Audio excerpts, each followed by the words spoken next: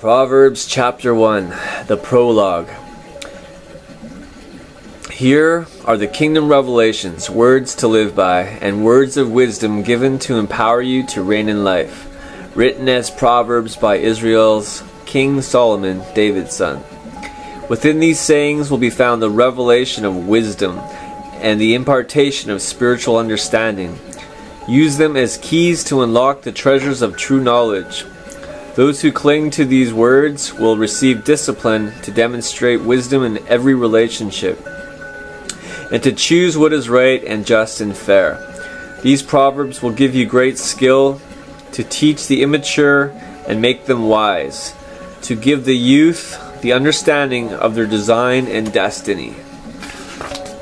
For the wise, these proverbs will make you even wiser, and for those with discernments, you will be able to acquire brilliant strategies for leadership.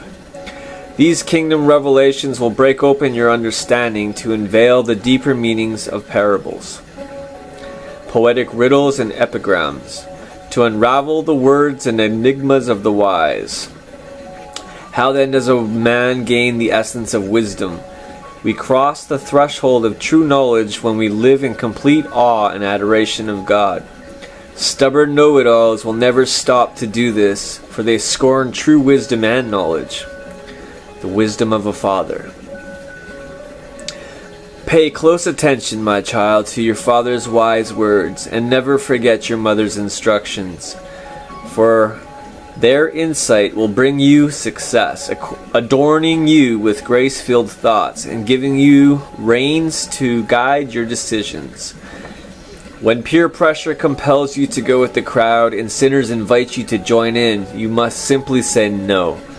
When the gang says we're going to steal and kill and get away with it, we'll take down the rich and rob them, we'll swallow them up alive, and we'll take what we want from whomever we want.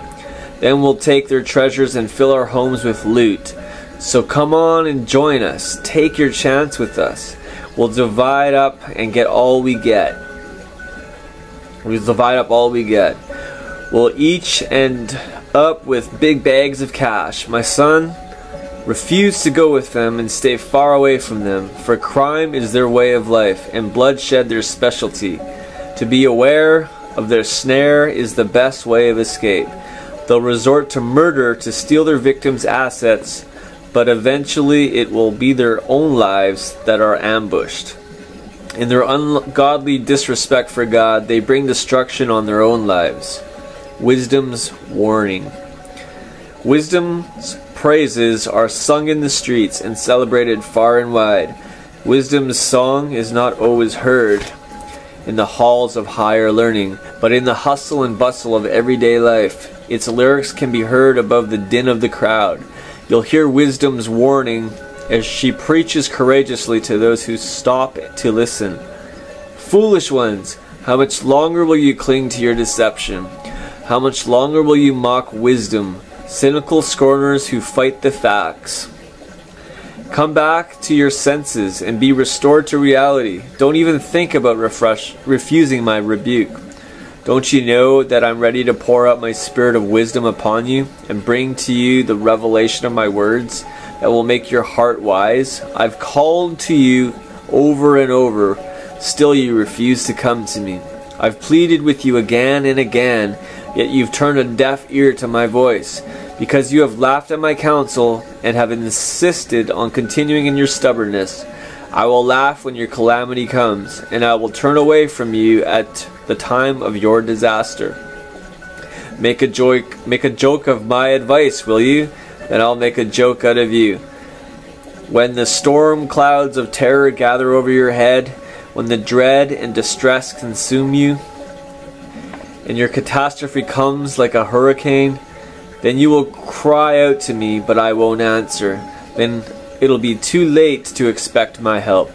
When desperation drives you to search for me, I'll be nowhere to be found because you have turned up your nose at me and closed your eyes to the facts and have refused to worship me in awe, because you scoffed at my wise counsel and laughed at my correction.